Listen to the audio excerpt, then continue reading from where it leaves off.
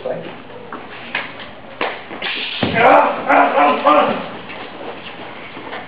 Okay, guys, let's break this down. The weapons being put on me, I want to redirect the line of fire. I want to keep my weight because I want to get control here. My weight is on the gun. Lifting and striking, striking the weapon.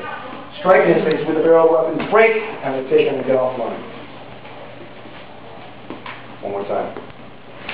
Redirect the line of fire. Coming in for control. Striking, striking, striking, breaking, and I get out.